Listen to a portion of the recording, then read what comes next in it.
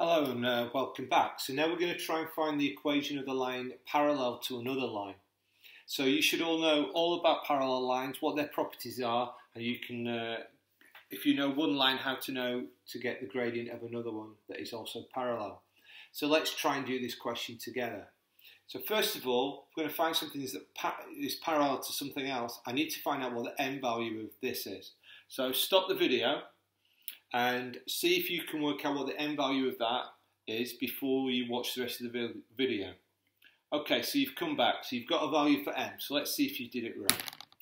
So, if you've got this, you know that you need to make y the subject of the equation. So I'm going to subtract 4x from both sides. So this one disappears and this one appears here.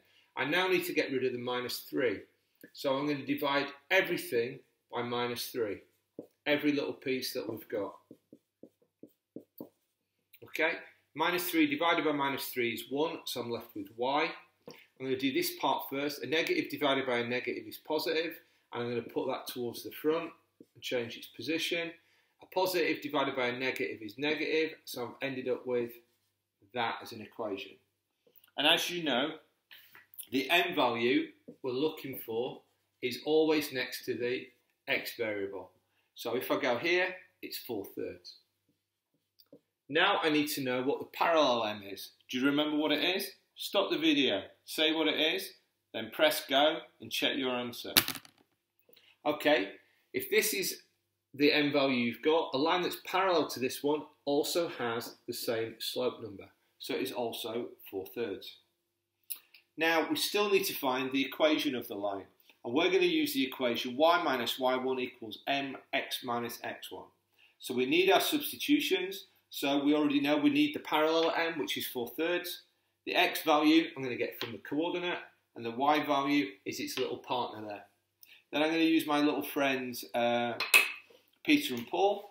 And so y is just y, minus sign is a minus sign, y1 is 1, n is 4 over 3, x is x and a minus sign is a minus sign, and the x1 is going to be replaced with the 4.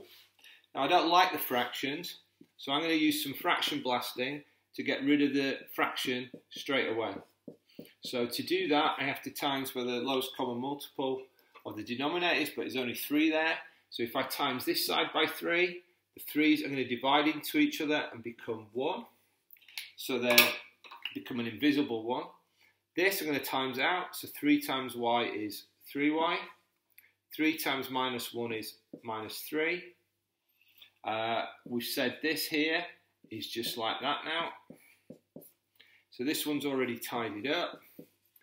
4 times the x is 4x. 4 times minus 4 is minus 16. I'd like the y's to be on their own. So let's put that over there. The minus 3 is going to uh, now disappear by adding 3 to both sides. And I've just run out of a little bit of space. So the answer for this then is 3y equals 4x plus 19. But of course, you've probably got space and you've managed to put it underneath over there. I've made a mistake. Oh dear, I have made a mistake minus sign. I knew there was a mistake there. Let's just change that. Trying to do too much rushing. So let's just tidy that up a little bit. 4x minus 16 plus 3 minus 16 plus 3 is minus 13. So the final answer is 3y equals 4x minus 13. And I've got my equation of the line. But of course, I would put that underneath there, but I just ran out of space and I'm worried that you won't see it in the video. Now, you're going to copy these into your notes in a moment because sometimes when we get the equation aligned, the question actually asks you to leave it in a certain format. So let's look at that at the same time. So on here, they're asking you to turn this equation into slope-intercept form. So stop the video and see if you can do that.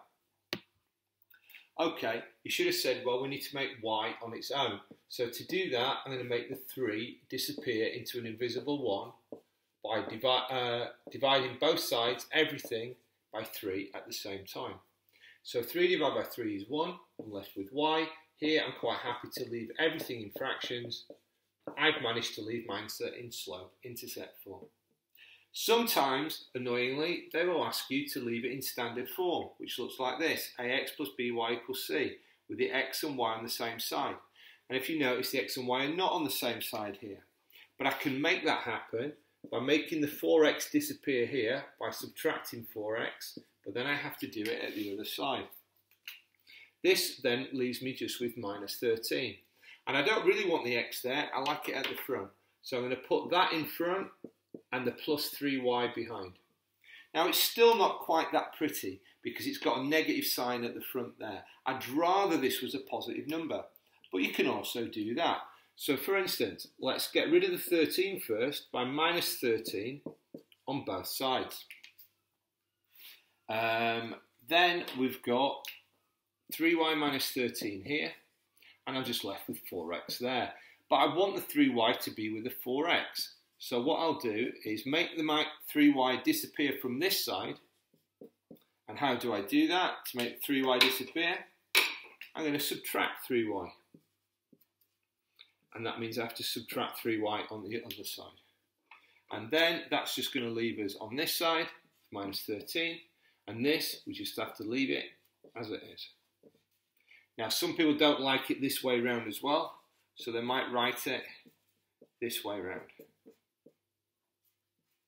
But this is in standard form and it's fine to leave it like that. That's in standard form. You could leave the answer like that. And this one is also in standard form. But if you compare this one to this one, what you'll notice is the coefficients are the opposite. And that's because they just rearranged it to the left or to the right. That's the only difference. This is more beautiful than that one just because the minus sign and this is a positive sign at the front. I'm just going to tidy that up and I think it looks very clear. That's 13. So out of all of them, I think that is the most pretty. So anyway, make sure you've copied the notes from this side and from the first side and then you can uh, go back to the um, instructions and it'll be time to do some questions.